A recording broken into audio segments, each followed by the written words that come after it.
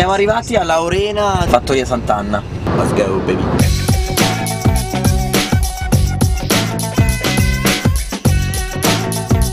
Guardate, miraggio.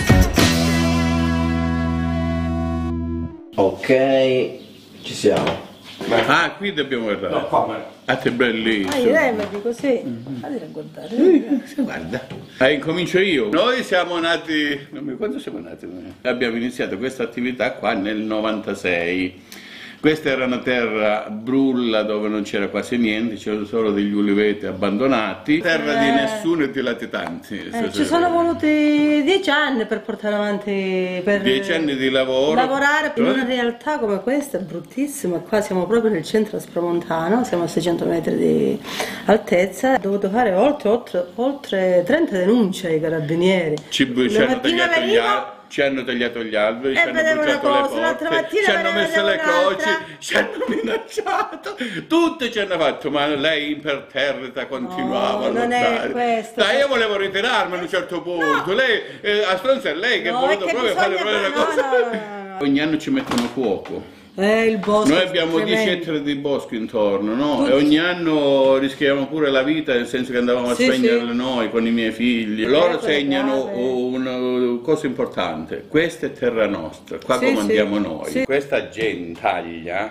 aveva sempre di fronte gente che aveva paura e sulla paura costruiva il loro potere. Con noi questo meccanismo si rompe. Noi non abbiamo paura. Eh, non è che non Ah, abbiamo ah, ah, paura. ah, paura Bisogna ce n'avamo raggiungere- un caso, però non La paura ce l'hanno tutti Ah, gli esseri paura. umani, però bisogna Paura. raggiungere, quando uno vuole raggiungere un obiettivo. Paura non deve l'avamo. pensare alla paura. Mia, fermati. Ogni zona ha queste caratteristiche. E questa è una caratteristica di tutta la Calabria. E vengono queste cose. Il dato di fondo qual è? Che non c'è da parte dello Stato un aiuto reale rispetto a queste questioni. Cioè, come dire, sembra che siano cose naturali. Con tutte queste difficoltà abbiamo realizzato un'azienda agricola biologica, azienda agricola agrituristica, dove eh, sostanzialmente offriamo, oltre al servizio di ristorazione, perché abbiamo un ristorante tipico calabrese, abbiamo 10 stanze eh, per dormire sopra, abbiamo i percorsi didattici per i bambini, noi produciamo roba di alta qualità. In questa azienda chi viene mangia frutti di stagione, entra in armonia con quella che è la dieta macrobiotica, cioè nel senso che tu vivi in rapporto alla natura e in equilibrio con la natura, mangiando quello che la natura in quel momento ti produce. Cioè abbiamo il bosco che ci dà i suoi frutti, poi abbiamo la terra che ci dà l'altro e abbiamo anche sostanzialmente gli animaletti che devono essere tutelati e protetti. Abbiamo anche due volpe che ci mangiano le galline, però noi non li ammazziamo e chi ci dispiace devono vivere pure loro.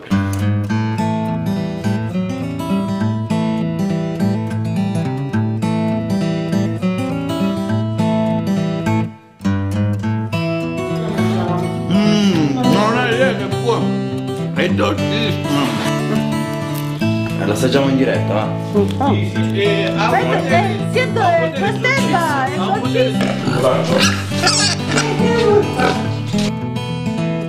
sono il presidente regionale dell'AI, Associazione Italiana Agricoltura Biologica, dove dentro ci sono anche gli agriturismi biologici.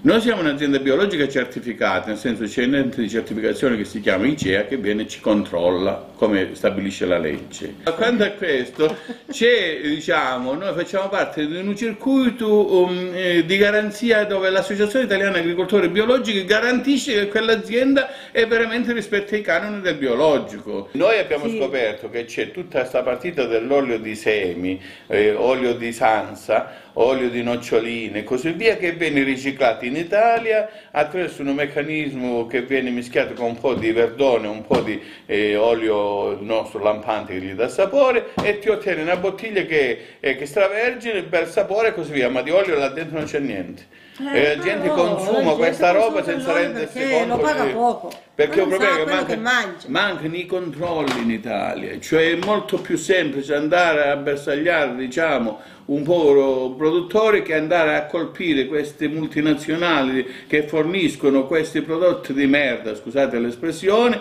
che poi vengono messi sugli scaffali a prezzi... Io non posso vendere il mio extra veggie a 2,49 euro. Non riesco proprio, ma nemmeno il più grande produttore riesce. Come fanno sta gente a mettere 2,49 euro un litro di extravergine? Mo, qua ci vuole il lavoro di Dio. Noi invece- abbiamo, noi abbiamo sei operai che manteniamo qua a lavorare con noi. Noi facciamo parte pure di una rete di Via Campesinos che pone diciamo, un problema del rispetto della dignità dell'uomo perché non si può produrre sfruttando le persone. Da noi i lavoratori sono pagati il giusto remunerazione, vengono registrati regolarmente perché francamente è assurdo che tu possa costruire un mondo migliore partendo diciamo, dallo sfruttamento dell'uomo sull'uomo. Io invece vorrei che i miei figli non, non vanno a Milano, eh, vanno qua in quell'ambiente tutto pieno di fumo là. Ah, no, qua e mi seguono i vari problemi che ho io qua, poi se vogliono andare vanno e non lasciare perdere tutte queste bellezze che io ho dovuto fare tanti sacrifici da quando sono nata fino adesso e ho portato avanti e poi vedere Tua figlia diciamo, ingegnere ambientale, nel qua nulla lavoro, perché i giovani purtroppo non vogliono fermarsi in Calabria, in campagna, perché non lo so perché. No, boh. vabbè, è un problema è vero, esiste, cioè Mm. tu rimani in campagna se ha- eh, hai un certo reddito. Nel momento in cui tu non riesci a recuperare il reddito, eh, cerchi altre strade. Per cui l'obiettivo nostro qual è? È quello che i nostri prodotti vengono collocati sul mercato direttamente e abbiano una giusta remunerazione. C'è un problema di organizzazione e di sapere pure operare all'interno di un mercato globale che oggi è aperto a tutto. Noi stiamo costruendo come organizzazione 600 negozi in tutta Europa per poter portare i prodotti dalla Calabria lì direttamente. Noi vorremmo realizzare questo, che questi posti fossero meta di un turismo più grosso, più largo da parte anche sia del nord Europa che dell'Italia. Speriamo che in futuro ci possa essere qualcuno che ci imiti, perché da solo non andiamo in nessun posto. Noi abbiamo bisogno di creare una struttura di questo tipo in tutta questa zona, in modo che la campagna venga abitata, venga coltivata in maniera ecosostenibile, perché senza usare disturbanti, concimi chimici e tutta questa roba qua, e si offra un turismo di massa internazionale che eh, francamente o prima o poi dovrà avvenire.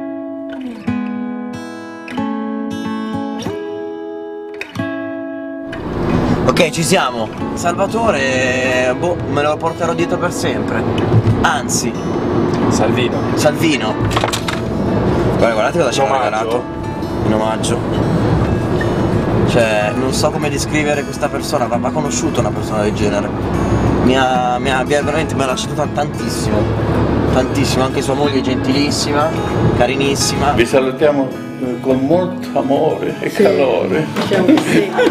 non mettete queste cose.